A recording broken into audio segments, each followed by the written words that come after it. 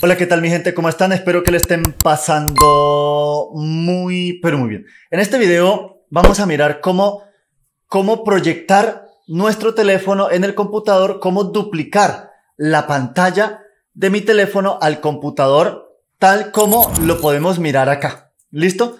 Esto, por supuesto, nos sirve para, para muchísimas cosas. Para hacer alguna clase, tutorial, etcétera, etcétera. Para el uso que usted quiera darle, la verdad que esta es una, una excelente opción. Los que se inventaron esta opción, eh, como decimos nosotros, la sacaron del estadio. Listo. La verdad es que hay muchas aplicaciones. Obviamente esto es a través de aplicaciones. Sí o sí, pues todo realmente en la vida a, a nivel de informática, todo es a punta de aplicaciones. ¿Listo? Aplicaciones que hacen ese trabajo. Lo primero que nosotros tenemos que tener en cuenta, lo primero que nosotros tenemos que tener en cuenta es que necesitamos irnos a ajustes, nos vamos a los ajustes de nuestro teléfono. En mi caso, eh, obviamente este video va a ser basado en una plataforma Android, así que desconozco las demás plataformas si esto se pueda o no se pueda. Listo. Entonces, en Android lo que vamos a hacer es irnos a configuraciones, vamos a buscar la opción que diga acerca del teléfono, que puede estar por acá abajo, o en mi caso, en mi caso está aquí de primero acerca del teléfono, vamos a irnos ahora a la opción que diga versión MIUI. Obviamente esto es en mi caso, esto es en este teléfono. Puede ser que en algún teléfono eh, cambie el nombre, cambie esa palabra, etcétera, etcétera. Lo importante es buscar la opción donde aparezca eh, la, la, la, versión del Android y aparezca, eh, qué sé yo, aquí en, en mi caso dice M MIUI Global 11.0.2 y una L, no sé qué cosa será eso, pero bueno, vamos a buscar esta opción y vamos a dar varias veces clic, varias veces clic o vamos a tocar varias veces ahí hasta que nos aparezca la opción que diga ya eres desarrollador. Ahora, esta opción hay que tener en cuenta y es que no estoy seguro, no estoy seguro, pero tendría que consultar si su compañía telefónica le suspende la garantía al hacer esto. ¿Listo? Que quede eso bien claro. Consulte. Obviamente que activar el modo desarrollador de pronto no nos quita eh, la garantía, pero, pero hay que consultar. ¿Listo? Hay que consultarlo primero. Entonces, una vez que nos aparezca, como vemos acá, me dice ya no es necesario, ya eres programador. Vamos a atrás. Ahora nos vamos atrás y dependiendo del teléfono también vamos a buscar Vamos a buscar aquí, en mi caso donde dice ajustes adicionales, voy a dar un clic y aquí en ajustes adicionales vamos a buscar opciones de desarrollador. ¿Listo? ¿Qué vamos a hacer aquí? Sí o sí, si queremos utilizar esta opción, tenemos que activar esta opción que dice depuración USB. Tenemos que activar esta opción que diga depuración USB. Vamos a activarla, le vamos a decir que sí, en algunos teléfonos nos pide que tenemos que eh, insertar la contraseña o una cuenta de, de, de, del, del, del propio software del teléfono. Entonces nosotros tenemos que, si no tenemos una cuenta, tenemos que crear, iniciar nuestro teléfono con una cuenta. Lo importante es activar la depuración USB. Miramos que, por ejemplo, instalar vía USB esté activado. Depuración USB ajustes de seguridad también esté activado verificación de aplicaciones a través de USB también esté activado y creo que lo demás ya no necesitamos. Entonces, una vez que demos clic atrás, listo. Ahora sí, desde nuestro computador, desde el computador, lacto, PC, torre, todo en uno, llámele como le llame. Les decía en un principio que hay varias opciones. Nada de lo que muestra el nombre aquí es de mención pagada. Hay una aplicación muy buena, muy buena, o a modo personal, yo lo he utilizado y es bastante buena, que se llama Visor. ¿Listo? Esta aplicación nos permite proyectar la pantalla de nuestro teléfono en el computador o, eh, pues aquí nos muestra, ¿no? Aquí nos muestra unas capturas. Eh, simplemente nosotros damos un clic acá en este botón de download. Es una aplicación muy sencilla. Aquí nos pregunta para qué plataforma la queremos. Está para Windows, Mac, Linux y la versión web. ¿Listo? En mi caso, pues sería para Windows, damos un clic ahí y nosotros Eh, obviamente dependiendo cómo tenga usted el gestor de descargas. En mi caso tengo un gestor de descarga, me pide esto, damos un clic en iniciar descarga. Eso es en mi caso.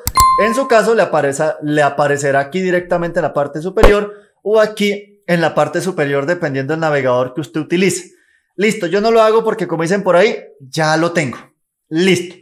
Hay otra aplicación, hay otra aplicación, ya vimos esta, Visor. Hay otra aplicación que se llama Power, Power Mirror. ¿Listo? Vuelvo a repetir, nada de lo que muestre un nombre aquí es de pagada. Esta, mm, a modo personal, no me convence de a mucho. No me convence de a mucho, pero funciona bastante bien. Funciona, eh, funciona muy bien. ¿Listo? También, obviamente, aquí da la opción para, para obtener ahora. Me dice que está para Mac y para Windows. Esta sí no está para Linux ni para versión web, solo para Windows y Mac. Listo, damos un clic acá en este botón verde a la fecha y pues lo mismo, ¿no? Dependiendo su, su gestor de descarga o su método de descarga, pues va a aparecer acá la opción de descarga. Y posiblemente hay más. Obviamente hay otra que también se llama, por ejemplo, Movicen, si mal no estoy es con Z. Movicen también tiene una opción para eh, nosotros eh, poderla instalar en nuestro computador. También tiene una versión web. Listo, es simplemente buscar entonces aquí me da, pero para la versión de, de Android Movicen, por ejemplo, podemos poner PC. Es simplemente usted probar, obviamente todas estas aplicaciones son de pago, son de pago, Listo, aquí está la opción para Windows. Funciona también bastante bien. Yo también la he utilizado, no tanto, pero sí la utilizo. Ahora, ¿cuál opción yo utilizo? ¿Cuál opción? Aunque de pronto no tenga las opciones que tienen las aplicaciones que acabo de mostrar, esta opción para mí, para lo que yo hago, para lo que yo lo utilizo, me va más que suficiente. ¿Listo? Obviamente para yo hacer tutoriales, cuando necesito explicar algo en mi teléfono, y esas cosas, esta aplicación es excelente. El link de esta, de esta aplicación la voy a dejar en el primer comentario fijado de este video. ¿Listo? Entonces, ¿cuál es la ventaja de esta aplicación? Bueno, una vez que nosotros obtengamos la aplicación que sea, si es por primera vez que nosotros conectamos nuestro teléfono al computador, obviamente por cable USB, claro que las aplicaciones como Visor, eh, Mirror y Movicen creo que permiten también vía Wi-Fi vía Wi-Fi. Lo que pasa es que tenemos que tener un Wi-Fi lo suficientemente potente para que esto pueda funcionar. Y si no, no funciona. Yo prefiero mejor a través de cable, a través de cable USB. Va más fluido, la calidad súper elegante y todo lo demás. La primera vez que nosotros conectemos, pues aquí no tengo cómo mostrar, porque ya pues he conectado esto muchas veces. Nos va a aparecer en nuestro teléfono un, un mensaje que nos dice que tenemos que permitir tenemos que permitir esas opciones para poder conectar, para poder instalar la aplicación en nuestro teléfono.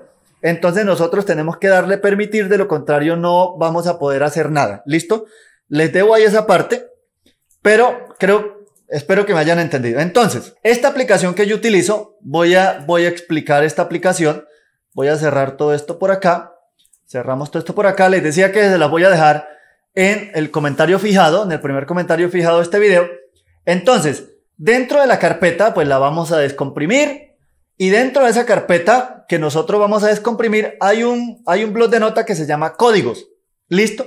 ¿Qué vamos a hacer? Bueno, nosotros podemos ir directamente donde tengamos la aplicación. Realmente podemos, eh, yo por comodidad, por ejemplo, la pasé al disco local C. Aquí hay una carpeta que se llama Mirror. Yo la pasé acá al disco local C Simplemente le damos clic derecho, copiar, venimos al disco local C, clic derecho, pegar. Listo, yo no lo hago porque como dicen por ahí, ya lo tengo. Entonces, abrimos la carpeta Mirror. Aquí, todos estos archivos los dejamos totalmente quietos. Lo único que vamos a abrir es este archivo que dice códigos. Entonces, el código que aquí vamos a utilizar es el que dice ADB device. ¿Listo? Disculpan ahí la pronunciación del inglés en bilingüe. ¿Qué vamos a hacer? Nos vamos a ir acá a la parte superior, miremos acá. Bueno, esta es una opción fácil de ingresar. Yo voy a explicarlo más fácil. Vamos a irnos acá y vamos a escribir CMD. Damos Enter. Se nos abre la consola del CMD, el símbolo del sistema, llámele como le llame. Aquí vamos a escribir ADB Devices. ¿Listo? Damos Enter. Aquí también cuando nosotros demos Enter en nuestro teléfono nos pide que por favor aceptemos también que permitamos que mi teléfono se conecte con mi computador. También tengo que estar pendiente. Cuando eso aparezca, también tengo que darle permitir. ¿Listo?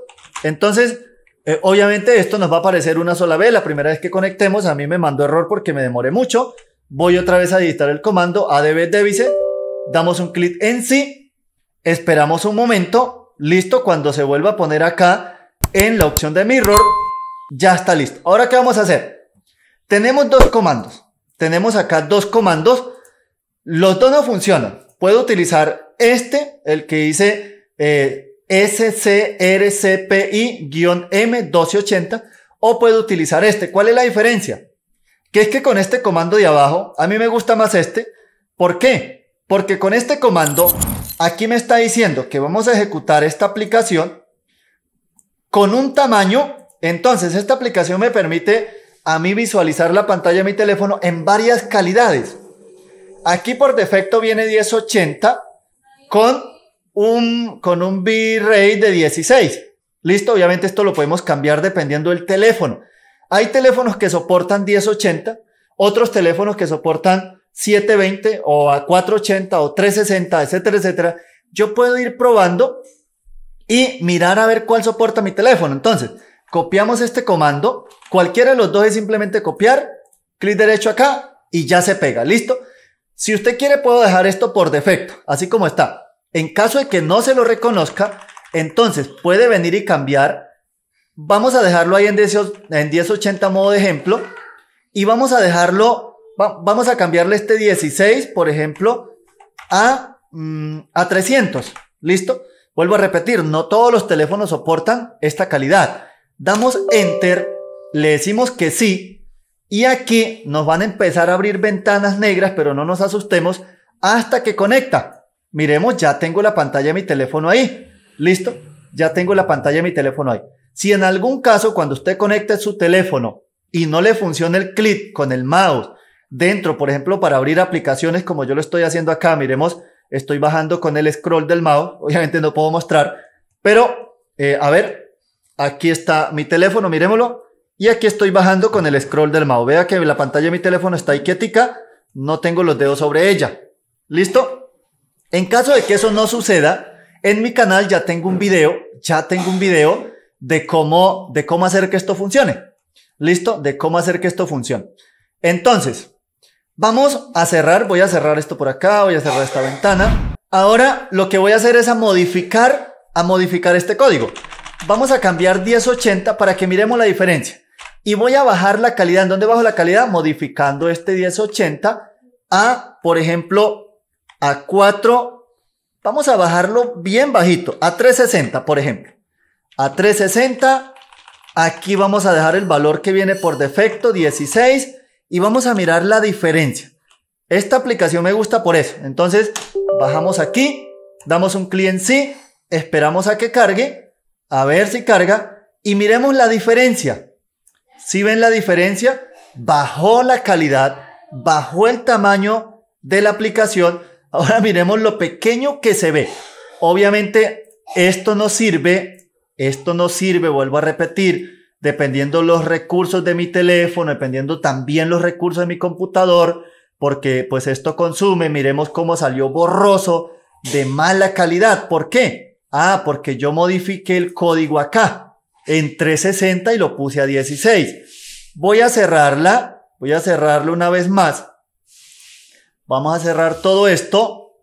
En mi caso, voy a volver a modificar el código. Vamos a subirlo, S360. Ahora vamos a ponerlo en 720. 720, la calidad. Y aquí este 16, vamos a cambiarlo, por ejemplo, a 100. ¿Listo? Damos Enter, damos en sí. Vuelvo a repetir, hay teléfonos que no soportan ciertas calidades. Listo, miremos que mejoró, por supuesto, la calidad. Ya está mejor, por supuesto. Esto ya es aceptable. Listo, esto ya es aceptable. Y así sucesivamente. Vamos a hacer una prueba más. Voy a seguir modificando este código. Acá en 720 vamos a ponerlo, eh, por defecto viene en 1080. Vamos a ponerlo eh, qué sé yo, voy a ver si me funciona un número así al azar, 1240 por aquí este 100 voy a modificarlo, vamos a pasarlo a 300. A ver qué pasa. A ver si me lo soporta el teléfono. Damos un clic sí. A ver. Mm, perfecto. Ahí lo soportó. Y obviamente cambia la calidad. Cambia la calidad drásticamente. Obviamente esto yo puedo reducir su tamaño o puedo también ampliarlo más. Miremos. ¿Listo? Pues ¿qué más les podemos pedir? Creo que más calidad no le podemos pedir a esto. Está súper nítido. Voy a cerrar y voy a poner el ejemplo con el primer código. Voy a ejecutar el código que está aquí en el blog de notas, este que viene por defecto. O bueno, que está ahí en el, blog de notas, ahí va a quedar. Entonces yo puedo, les decía, simplemente digito este código, a ver, digito el código y también de esta manera también va a iniciar. ¿Listo? Damos un clic en sí y simplemente esperamos un momentico y miremos que ya se visualiza la pantalla de mi equipo. ¿Listo? Se visualiza. Obviamente también puedo, puedo jugar con este número, cambiarlo a 1080, dejarlo en 1280, subirle, bajarle, etcétera, etcétera. Entonces, estas aplicaciones de esta manera nosotros podemos visualizar la pantalla de nuestro teléfono en nuestro computador. Espero que este video haya sido de gran ayuda para todos ustedes. Si fue así, no olviden suscribirse, compartirlo, darle un buen me gusta. Nos vemos en un próximo video. Un saludo muy, pero muy especial para cada uno de ustedes. Que Dios los bendiga.